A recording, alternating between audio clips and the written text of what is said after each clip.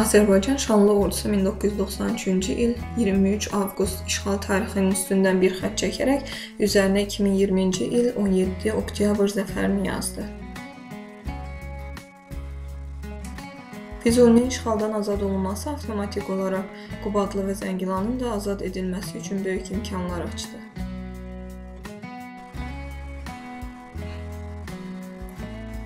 1827-ci ilə qədər kənd olmuş və Qarabulaq adını daşımış həmin il Rus ordusunun polkovniki Pavel Karyaginin şərəfinə Karyagin adlandırılmış və şəhər statusu verilmişdir.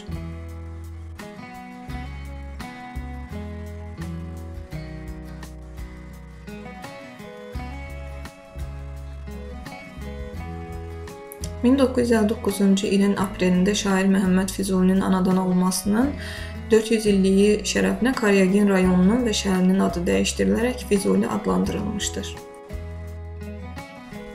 Füzuli rayonunun relyefi əsasən Araz çayına tərəf alçalan maili düzənlik, qərbdə alçaq dağlıqdır. İqlimi şərq hissəsində yayı quraq keçən yarım səhra və quru çöl, qərbdə mülayim istidir. Çayları Köndələn çayı, Quru çay və Qozlu çay rayonun İran İslam Respublikası ilə sərhəddindən axan Araz çayı hövzəsinə aiddir. Şimalda Ağcabədi rayonu ilə cənubda Cəbrayıl rayonu və İran İslam Respublikası ilə, şərqdə Beyləqan, qərbdə isə Xocavənd rayonları ilə həmsərhəddir.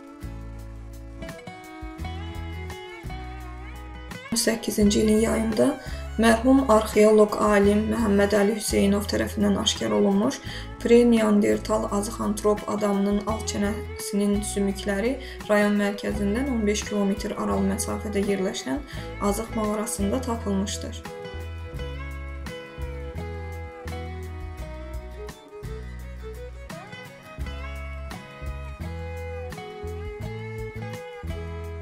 Azıq mağarası qədim insan məskunlaşması baxımından dünyada 3-cü yeri tutur.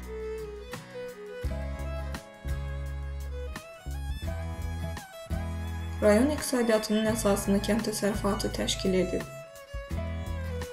İşğala qədər rayonda taxılçılıq, heyvandarlıq, üzümçülük, qoyunçuluq, quşçuluq, baramaçılıq geniş inkişaf edib. Tezliklə dövlətimiz burada yenidən qurma işlərini həyata keçirtməklə rayonumuzu dirçəldəcəkdir.